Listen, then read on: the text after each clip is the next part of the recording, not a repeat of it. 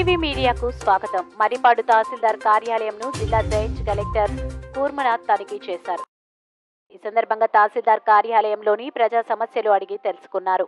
పలు సమస్యలపై తహసీల్దార్ కార్యాలయంకు వచ్చిన అర్జీదారులతో జాయింట్ కలెక్టర్ కుర్మనాథ్ పలకరించి సమస్యలు తెలుసుకుని క్యాస్ట్ ఇన్కమ్ మొదలగు సర్టిఫికెట్లను త్వరగా పరిష్కరించాలని సిబ్బందిని ఆదేశించారు. ఈ సందర్భంగా జాయింట్ కలెక్టర్ కుర్మనాథ్ మాట్లాడుతూ తహసీల్దార్ కార్యాలయ సాధారణ తనిఖీల్లో భాగంగా ఈ రోజు మర్రిపాడు తహసీల్దార్ కార్యాలయంను విజిట్ చేయడం జరిగిందని తెలిపారు. పలు సమస్యలపై తహసీల్దార్ కార్యాలయానికి వచ్చిన అర్జీదారులను ఉద్దేశించి ఏ సమస్య అయినా స్థానిక సచివాలయం నందు సిబ్బంది పరిష్కారం చేస్తారని తహసీల్దార్ కార్యాలయానికి రావాల్సిన అవసరం లేదని అర్జీదారులకు తెలిపారు. సచివాలయం నందు పరిష్కారం కాకుంటే తహసీల్దార్ కార్యాలయాన్ని సంప్రదించాలని కోరారు. అనంతరం వారు మీడియాతో మాట్లాడుతూ భాగంగానే రావడం జరిగింది. ఇక్కడ ఎందుకంటే సింగనపల్లి డీసీపల్లి ఇవన్నీ కూడా రీసర్వే జరుగుతున్నాయి. అండ్ రెవెన్యూ ఇష్యూస్ మీకు తెలియదు కాదు ఇంతకు ముందు ఇక్కడ ఒక గ్రివెన్స్ కూడా పెట్టడం జరిగింది. అలాగే ఇప్పుడు ఈరోజు ఈ ఆత్మకూరు సంఘం ఇటు సైడ్ వచ్చాము. ఎందుకంటే ఈరోజు ఒక న్యూస్ ఐటమ్ కూడా వచ్చింది. ప్రొక్యూర్మెంట్లో ఏంటంటే రైతులకి మద్దతు ధర లభించడం లేదని చూసి దాన్ని చూస్తూ దాన్ని మెరుగుపడమని రావడం జరిగింది. సో అందులో భాగంగానే ఈరోజు కొంచెం ప్రజలు ఇక్కడికి వచ్చి ఎవరైతే గ్రీవెన్సెస్ వచ్చారో ఏంటని కనుక్కోవడం జరిగింది. వాటికి ఇమీడియట్లీగాను పరిష్కారం అయ్యేటట్టు ఇన్స్ట్రక్షన్స్ ఇచ్చాము. అండ్ మళ్ళీ ఇది ఇప్పుడు అసిస్టెంట్ కలెక్టర్ గారు ఇప్పుడు ఇక్కడ తహసీల్దార్గా యాక్ట్ చేస్తున్నారు కాబట్టి ఆవిడ బాగానే చేస్తున్నారు. And at the same time ఎక్కడైనా ఏమైనా ఇష్యూస్ ఉంటే ఆవిడ టైం మాట్లాడుతున్నారు డిస్ట్రిక్ట్ అడ్మినిస్ట్రేషన్ అవన్నీ కూడా క్లియర్ చేస్తున్నారు. త్వరలోనే ఇక్కడ జేకేసీ మనం కండక్ట్ చేయబోతున్నాం మరి రికార్డు మండలంలో.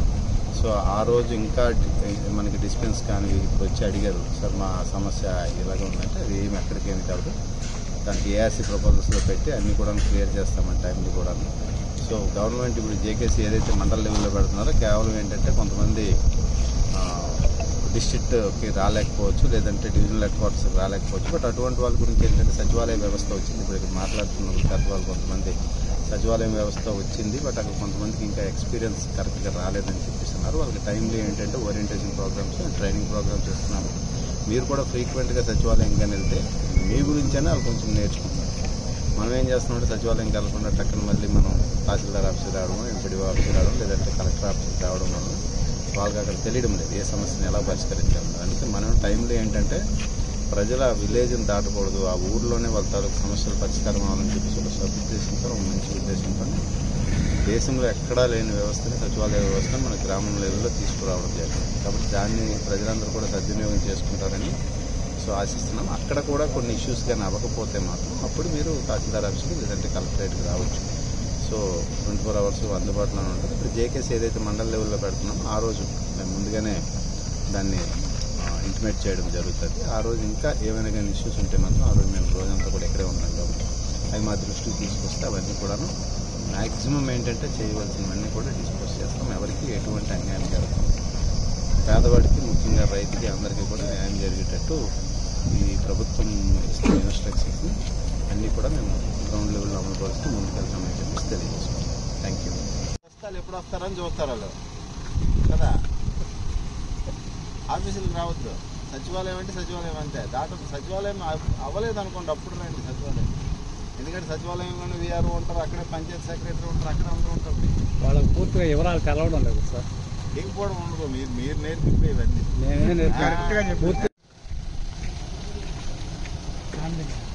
ఫ్యామిలీ మెంబర్ సర్టిఫికేట్గా ఎప్పుడు పెట్టారు? ఇప్పుడు అప్లై చేశారా? సచివాలయంలో అప్లై చేయాలి కదా ఎక్కడికి ఎందుకు వచ్చారు? చేశారు కదా మళ్ళీ ఎక్కడికి ఎందుకు? ఫిజికల్ డాక్యుమెంట్స్ ఫిజికల్ డాక్యుమెంట్ ఇచ్చేద్దామని. అక్కడే కదా ఇవ్వాలి? సచివాలయంలో నేను పేస్ట్ చేయమన్నా. చెప్పాను కదా పెడుతున్నాం. సచివాలయంలో పెడుతున్నాము. మీకు ఏదైతే గవర్నమెంట్ బిల్డింగ్ ఉంటుంది కదా మీ విలేజ్లో ఏదో ఒక జీపీ బిల్డింగ్ లేకపోతే ఇంకో బిల్డింగ్ అక్కడ కూడా పెడతారు నేర్చుకుంటారా? మీరు ఎక్కడికి వచ్చేస్తే ఇంకా నేర్చుకుంటారు? పడితే ఓవి పట్టాలా